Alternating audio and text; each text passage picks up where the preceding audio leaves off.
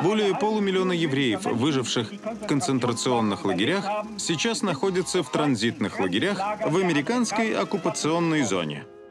Берман Давид, еврей. Вы были узником концлагеря Заксенхаузен. Как вы туда попали? На лимузине, с шофером. Что сейчас нужно немцам больше всего? Белье. И мы развернем оптовую торговлю бельем. Я с вами. Все, конец фильма. Как киномеханик он безнадежен, зато в торговле просто гений.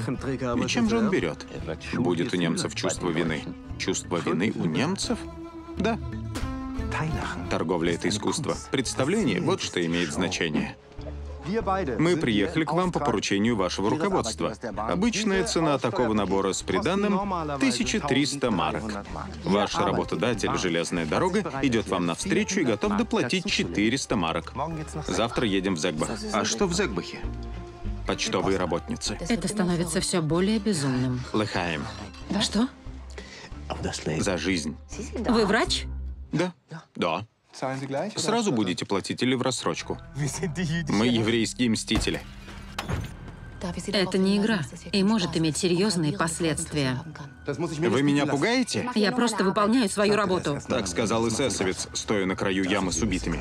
Давид, будем говорить на чистоту. Вы меня заинтриговали. До сих пор мы тебе доверяли. Что ты затеваешь у нас за спиной? Ты был связан с нацистами? Я же сказал тебе, сиди у Мариан и следи, чтобы сюда не пришли немцы. Немцев не обманешь, особенно когда дело касается евреев. Гитлер мертв, но мы все еще живы.